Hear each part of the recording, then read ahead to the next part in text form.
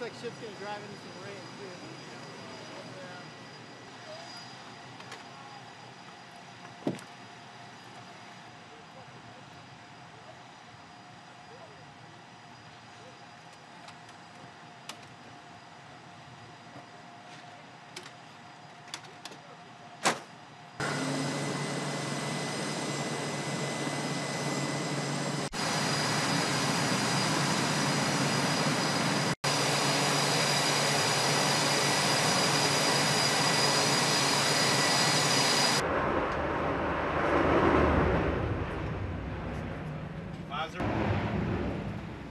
103 airborne. Engine two. Green was not. Yeah, the green the green was yeah. shut off over here. Well, we can shut it off. So we, yes, sir. There's a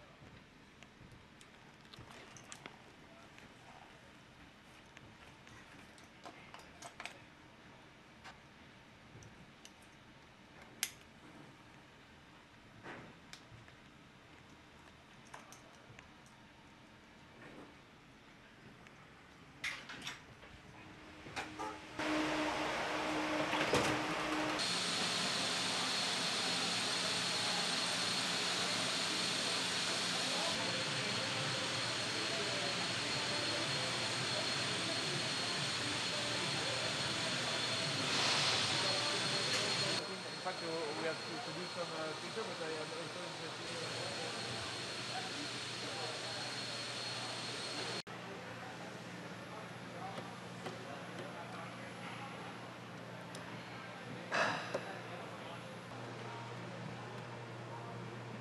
Oh my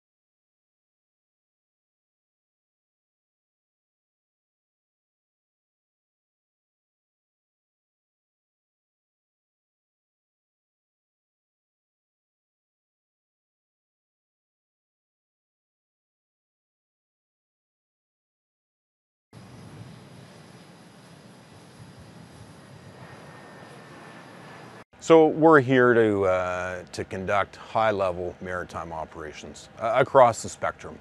We're here to showcase the Gerald R. Ford, conduct flight operations, and then integrate uh, allies and partners, allies from Germany, France, Denmark, Spain, Canada, and the Netherlands, and work together so that we continue to refine procedures, refine our communications, and, and, and just demonstrate that security and that peaceful operations within the Atlantic Ocean. So the Ford benefits from uh, operating with our allies in, in many ways. First of all, our ship is a command and control node. We're a flagship, so I host multiple staffs on the ship already, and then hosting liaison officers is something that navies need to do, that the United States Navy needs to do when we deploy into a, a theater of war or peace. We need to be able to coordinate, collaborate, integrate with our allies. So that's one thing, just talking among each other, collaborating, having a battle rhythm, having the meetings that we have each day uh, on a network that we all can use, that's really important.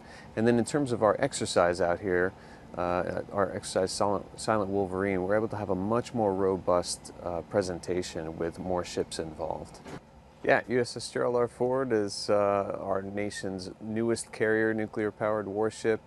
Uh, first one to be developed from scratch in over 40 years after the Nimitz class, so we're excited about the new technologies that Ford brings to the table. The most prominent ones are the electromagnetic aircraft launch system and the advanced arresting gear.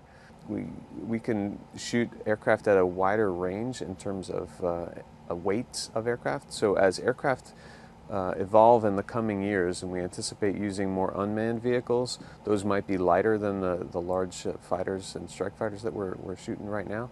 Uh, and we anticipate less stress on those aircraft, so uh, less lifetime cost on the aircraft too. So a whole host of uh, benefits